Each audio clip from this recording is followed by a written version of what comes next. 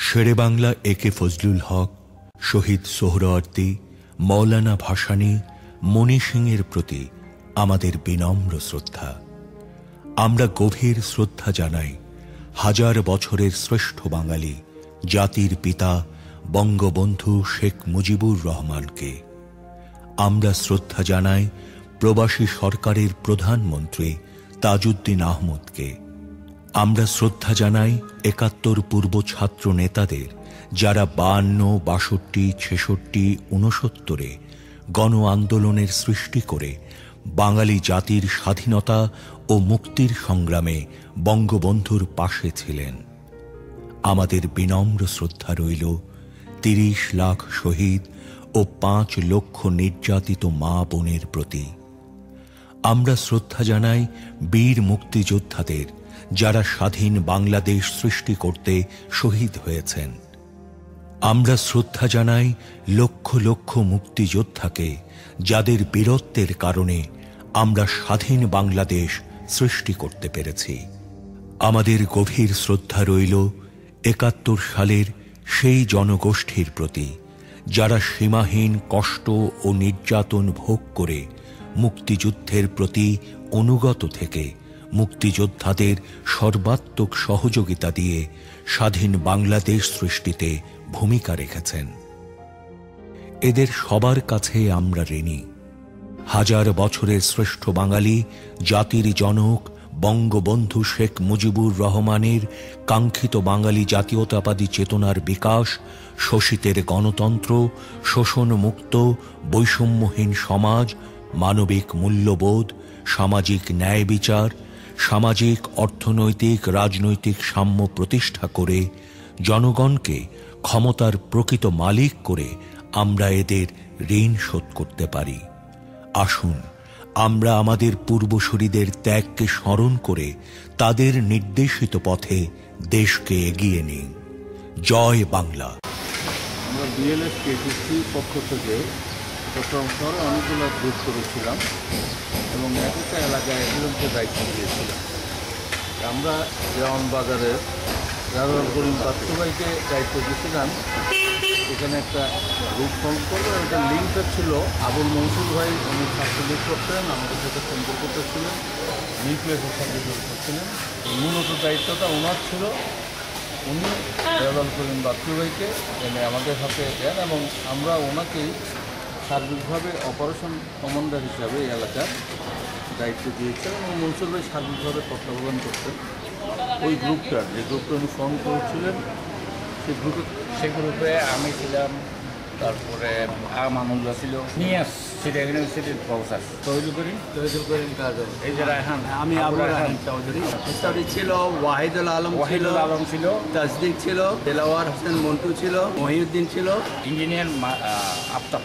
Engineer Aftabul বাড়িতে তো কাঠলি কাঠালি হ্যাঁ। আমাদের ইন্টারভিউ পাতা চাপা হয়। ইঞ্জিনিয়ার এখানে আমাদের সলমন খান উনি ওকে, আমরা- গবেষণা মনসুর ভাই তখন আমি শ্রীরাঙ্গলের পড়ি মনসুর ভাই ইউনিভার্সিটিতে পড়ি উনি ছাত্রলীগ করতো আমি তখন ছোটো আরও ছাত্রলীগ ছাত্রলীগ করতে কিন্তু আসলে কিছু বুঝতাম না।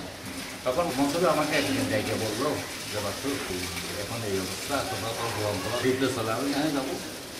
এই যে ঘটনা। প্রথম। আমি রাজি হয়েছি। কয়েকটি ডাক্তার মাহবুব সাহেব আসছিল একদিন তখন উনি আমাকে বলল যে মনসুর ভাই বলল যে তুমি খোলাফাইন জোগাড় করে ভর্তি করার জন্য ট্রেনিং দিবে রাখি রাখি বিষয়ে তখন আমার পরিচয় কিন্তু। ওই রাখি কেসি সদস্য ছিল। ওনাকেই এই এলাকা ট্রেনিংয়ের দায়িত্ব দেওয়া হয়েছিল তারপরে এইভাবে এই ছেলে জোগাড় করলাম। করে মনসুর ভাইয়ের সাথে আবার বৈঠক করাই বুটুটা কোন জায়গায় প্রায় সময় ওনার নানা পাশে এই জায়গাটাতে একটা কাস্টমারদের একটা এলাকা নিচে নিচে একটা বাড়ি ছিল। পাকা তার জায়গাটা ওই খালি ছিল। এখানে রোগী থাকতো। ওটাই আমাদের ফার্স্ট ট্রেনিং সেন্টার হিসেবে। ওখানে থাকতো। ওইখান থেকে আমাদের ফার্স্ট ট্রেনিং শুরু এখানেই শুরু? ঠিকানাটা কি এটা?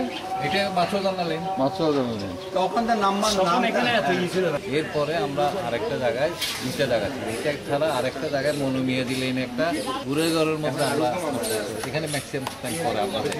কারণটা ছিল এটা তো আজ এখানে মানুষের থাকতো আশেপাশে। ওই রিস্কটা আমরা না নিয়ে আমরা এখান থেকে সরে গেছিলাম। সরে গিয়ে একদম গ্রামের ভিতরে হ্যাঁ ওইটা ওইটা কেউ এখানে চিনবে না চিনবে না কিছু না একটা ভাঙ্গাচোরা বাসা। একসাথে যাইতাম না।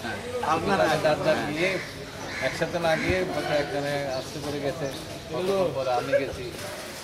তারপর আমি তো এমনি অস্ত্র চালাতে পারি সব। শুধু এক্সপ্লোসিভটা জানতাম না এটা আমাকে শিখিয়ে দিয়েছিল। গ্রেনেড মারাটা শিখছি লোকের থেকে। আমরা কী করতাম? অস্ত্র রাখতাম এক জায়গায় মিটিং করতাম আরেক জায়গায় এইভাবে চলতাম। আর আমার নাম ছিল যুদ্ধের সময় আমির লোক আমির লোক ট্রান্সফার্মেসি আছে না? মিনিমাম ট্রান্সফার্মেসির একটা সেলসম্যান হিসেবে আমার একটা কাজ ছিল। আমার নাম মোহাম্মদুল্লাহ টুকুন।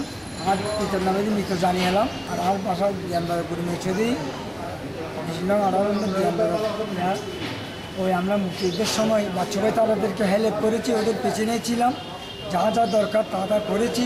বাচ্চু ছিল কাজল ভাই ছিল এই ছিল নওয়াজ ছিল নাজ মোহাম্মদ এদের পিছনে আমরা ছিলাম। আমার নাম সুলতান।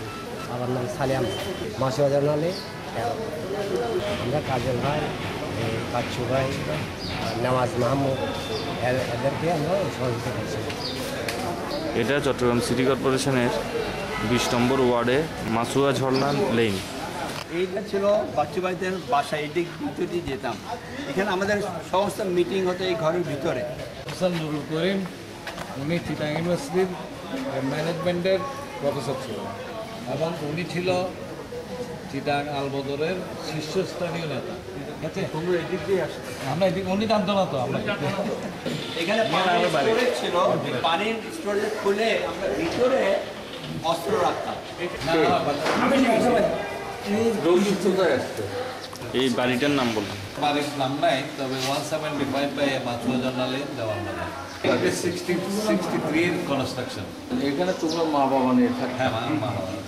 মা বাবা জানতো না তোমরা এই কাজ জানতো মা বাবারা জানতো না ভালো টাকা দিত না আমার আমার আম্মা তো ওই আওয়ামী লীগ বলতে পাগল ছিল কাজল আর বাচ্চু দুই আপন ভাই বড় ভাই আর ওই ফাতেমা একটা ইলেকশনও ছিল না?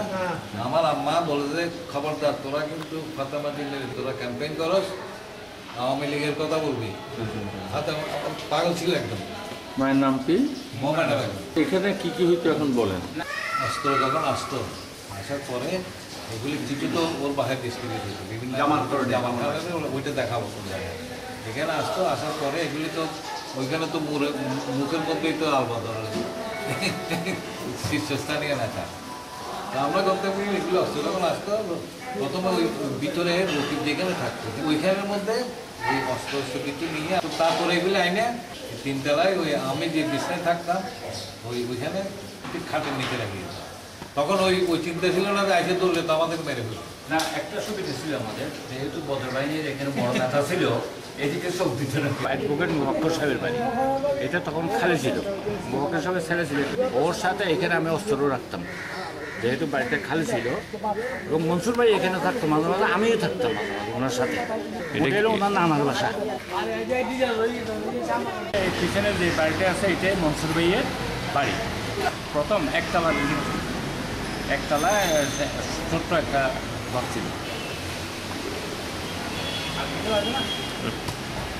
আমরা এখন যেখানে আছি আমাদের দেখছেন বাচ্চু ভাই আছে, আমাদের সঙ্গে রেজাল্ট করিম বাচ্চু। আমার আর জাহিদুল করিম কাজল, আর আমি আবু রাহান চৌধুরী। আমরা যেখানে আছি, এটা হচ্ছে মমিন রোড, এটাকে বলি মমিন রোড, আর এদিকে জামালখার রোড, আর চেরাকি পাহাড়, এটা হচ্ছে চেরাকি পাহাড়। এটা আগে অনেক ছোট ছিল। এদিকে বাম দিকে যেটা দেখছেন, উঁচু বিল্ডিং এটা আগে ছিল USI united state information centre এখানে আমাদের একটা অপারেশন হয়েছিল। এখানে সিগনেচার আসবে। এরা লেখতেছে যে আমার কাছে সব শান্তি কোনো কিছু নাই। সেই জন্য এখানে গ্রেনেড ফুটে যে সিগনেচার বুঝতেছে না শান্তি আছে ওই জন্য এই কামটা করে সংবাদটা মসুর পাইতেছে সেপ্টেম্বরে। এখানে যে অপারেশনটা হয়েছিল ওই দিন আপনার ইউএসের স্টেট সেক্রেটারি আসছিলেন। সেকেন্ড স্টেট সেক্রেটারি উনি আসছিলেন। ওই খবরটা পাওয়া যায়।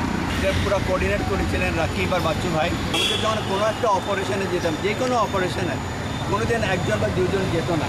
এখানে একটা গ্রুপ যেত কারণ এখানে অবজারভেশনের দরকার ছিল কে কী হচ্ছে কোথায় কী আছে কোথায় কী ডেঞ্জারটা আছে কোথায় কে লুকিয়ে আছে আমরা জানি না আগের থেকে।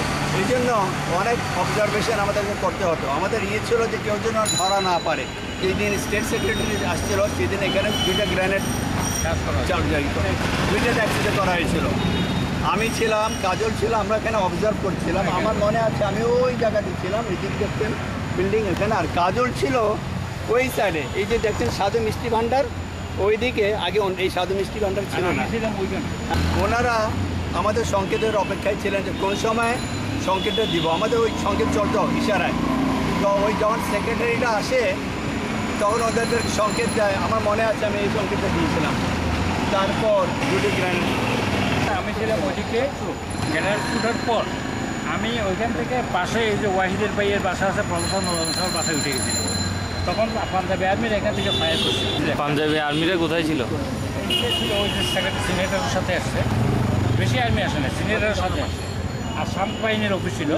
তো গুলি মারতে পরে রিক্সাওয়ালা রিক্সাওয়ালা। মারা গেছে স্পটে আমি কি করেছি পট করে ওয়াহিদের ভাইয়ের বাসায় চলে গেছি। তারপরে এক ঘণ্টা দুই ঘণ্টা পরে এখান থেকে জানালা দিয়ে দেখছি সব ক্লিয়ার তারপরে বাইরে। আমরা যখন এই এখানে ইউএসআইএসে অপারেশন করতেছিলাম এটা জান সেই আমলে সেই আমলে উনিশশো একাত্তরে পাশে যে হলুদ বিল্ডিংটা দেখছেন এই হলুদ বিল্ডিংটা ছিল পুরা আল শামসের ঘাঁটি।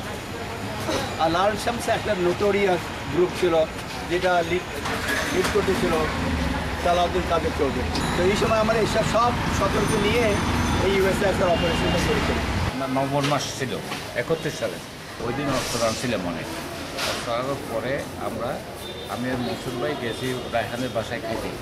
সাড়ে নটার সময় এখানে আসলো তখন ওইখানে রাত্রে দশটার সময় আমি ছিলাম ওইখানে ওদিকে আরেকটা বাসায়, তখন এই বিল্ডিং ছিল ওখানে পুরো দেখা যাচ্ছে, রাস্তা। তো রাস্তা তখন দেখতেছি, দেখি যে আর্মির গাড়ি। আর সাথে কিছু সিভিলিয়ান ছিল বড় ছিল, বড় বাহিনী ছিল।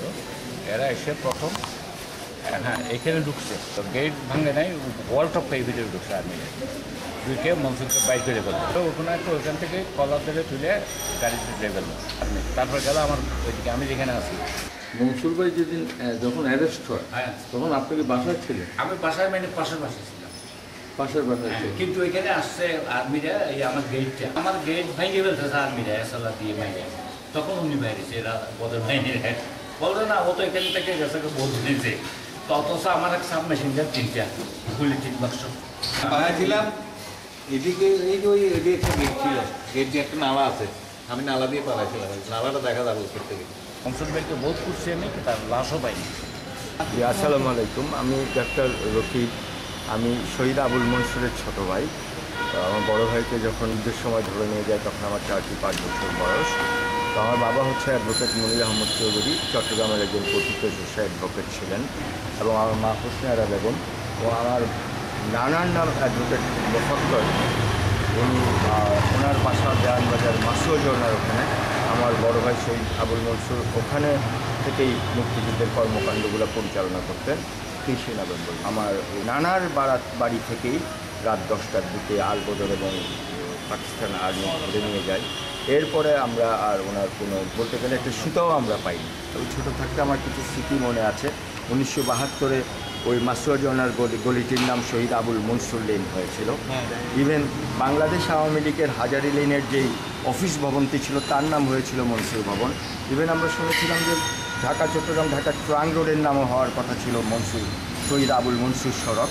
আবার একই সাথে যখন চট্টগ্রাম ইউনিভার্সিটির উনি তখন ছাত্র ছিলেন এবং ওই ছাত্রাবস্থায় ওই সময়টাতে উনি মুক্তিযুদ্ধে জড়িত ছিলেন, আইন কলেজের উনি ছাত্র ছিলেন এবং আমার জানা মতে চট্টগ্রাম বিশ্ববিদ্যালয়ের মুক্তিযুদ্ধোত্তর প্রথম যে শ্রেণি ছিল ওটি উৎসর্গিত ছিল ওনার নামে এবং ওখানকার যে প্রথম যে বেদিটি ছিল যেটা আমরা দেখেছি এবং ওখানে ছয়জনের যে নাম ছিল সেখানে ওনার নাম উত্তীর্ণ ছিল।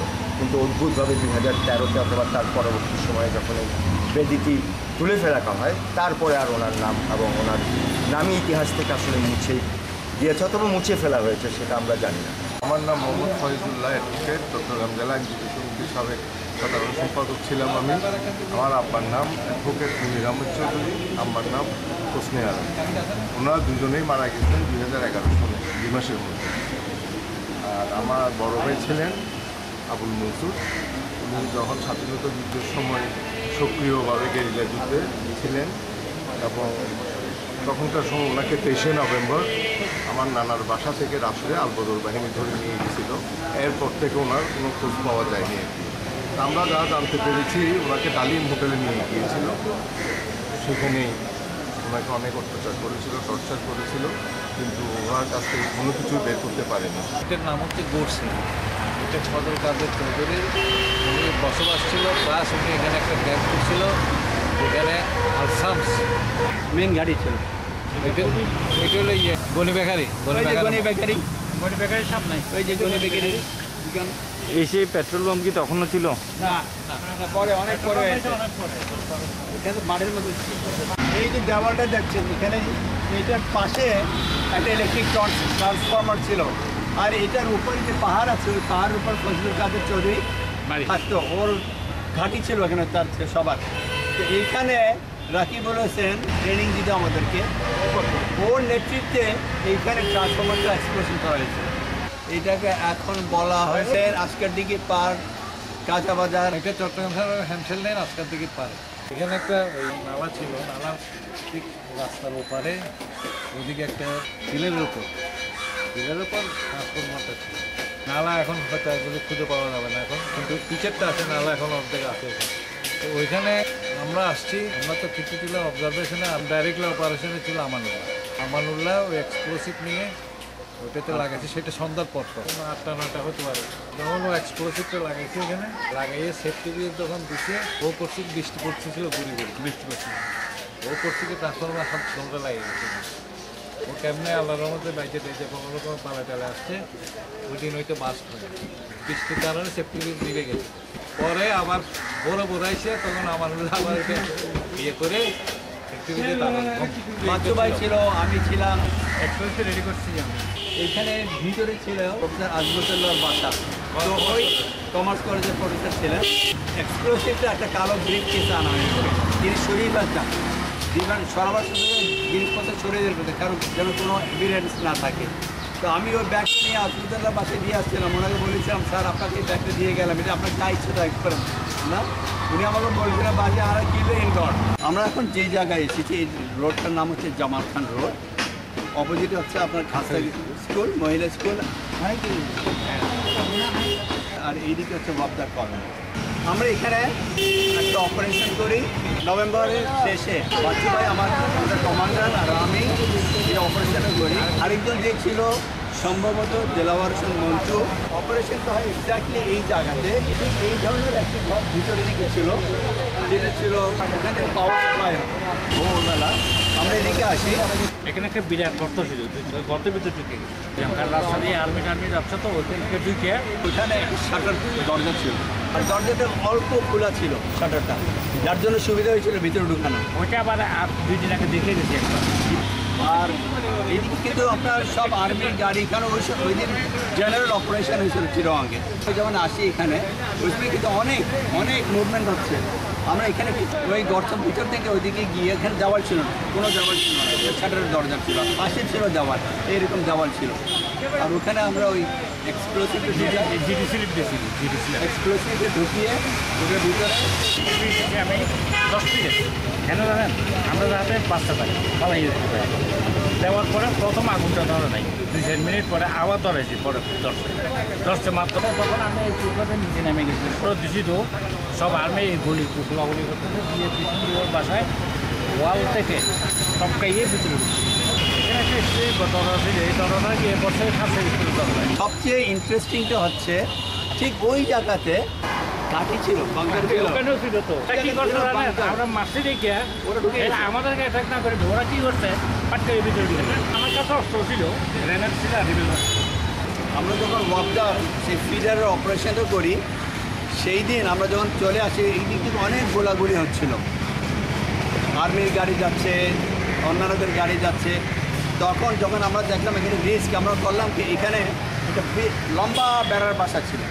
তো আমরা ওই ভিতর থেকে ঢুকে এগুলো দেখতে যে দেওয়াল ওই দেওয়াল চটকিয়ে আমাদের বাসে গিয়েছিলাম। আমরা জামাল রোডে এগারো নম্বর জামাল রোডে সামনে দাঁড়িয়ে আছি। এই এগারো জামাল খান আগে একটা ছোট্ট ঘর ছিল, লম্বা বেড়ার ঘর। এখন তো দেখছেন এখানে অনেক উঁচু ঘর হয়ে গেছে।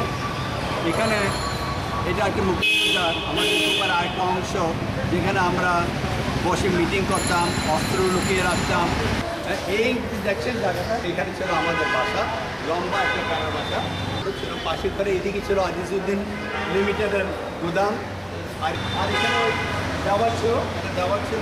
দেওয়ালটা দিয়ে মানুষ আমরা ধরতে পারতাম, যাই কিছু একটা টিনের দরজা ছিল। আর ভিতরে একটা গ্যারেজ ছিল। ওই গ্যারেজে আমরা গর্ত করেছিলাম। আর গরজের ওই গর- গর্তের মধ্যে আমরা অস্ত্রগুলি রাখতাম। একটি কথা মনে আছে আমার? যে পঁচিশ কি ছাব্বিশে নভেম্বর আমার ঘরের চারিদিকে ঘেরাও করা। আলশামস ছিল মালয়েশিয়া ছিল, বদরলোক ছিল, এবং ছিল সালাউদ্দিন কাদেরের গ্রুপ। ওরা এসে আমাকে ডাকছিল। এবং ওই সময় যতটুকু আমার মনে আছে ইউসুফও ছিল। ওরা আমাকে যখন ধরতে আসে, ডাকে, তখন আমার আম্মার সামনে লাভ দিয়ে আসে। আম্মা এসে আমাকে প্রতিরোধ করেন। যখন ওরা আমাকে ঘেরাও করল, যখন আমাকে ডাকলো, আম্মা তো সামনে চলে আসলেন। আম্মাকে যখন দেখল, ওখানে একজন ছিল ওই গ্রুপের মধ্যে, ও আলশামসের গ্রুপ মেম্বার ছিল, ও আম্মাকে দেখে চিনতে পেরেছে। আমার আম্মা একজন টিচার ছিলেন। তখন আম্মার কাছে এসে বলে, আম্মা, দেখে চিনতে পারার সঙ্গে সঙ্গে তাড়াতাড়ি মাপ চায়। তারপর বলল যে, না, এখানে কোনো কিছু নাই। এখানে সব ঠিক আছে চলে তো আমরা সেদিন আম্মার জন্য বাঁচতে পারি। এমন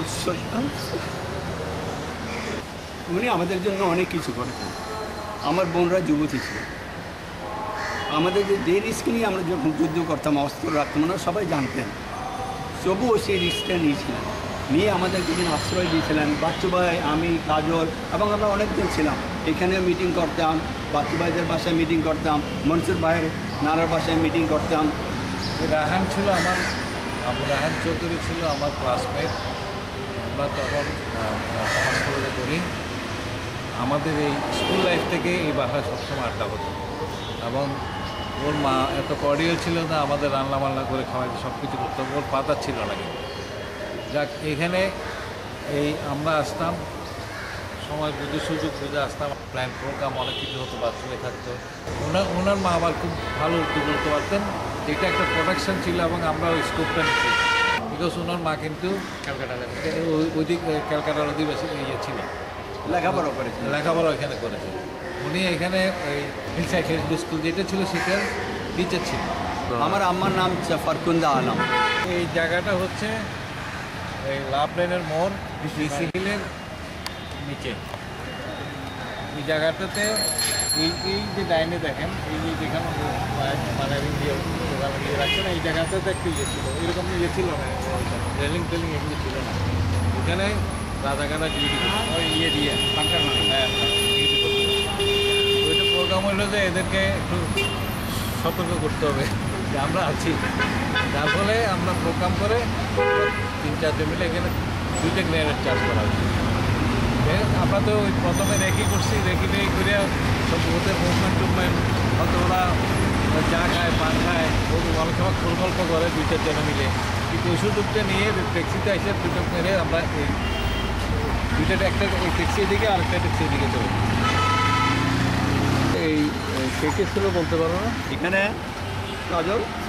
আমানুল্লাহ আমিও ছিলাম জড়িত। এটা হলো ক্যাবে রহমান সাব স্টেশনটা এখানে ছিল।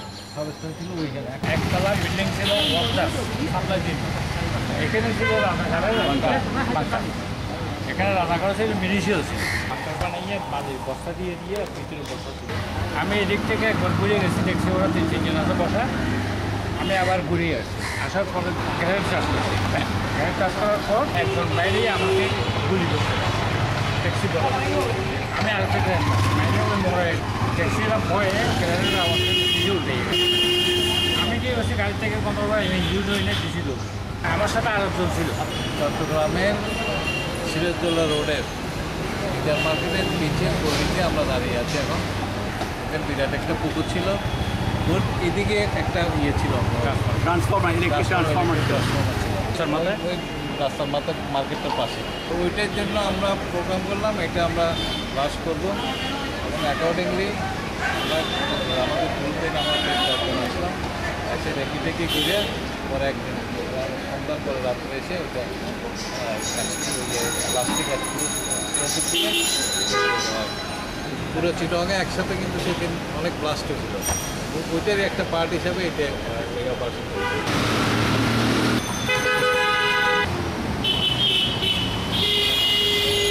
জনাব রফিকুদ্দিন চৌধুরী। আমার বাবা হচ্ছে যে মৃত নুর ইসলাম চৌধুরী। তেত্রিশ মাসুজান্না লেন জলবাদা চট্টগ্রাম উনিশশো একাত্তর সালের সতেরোই ডিসেম্বর আনুমানিক তখন সাড়ে ছয়টা কি সাতটা।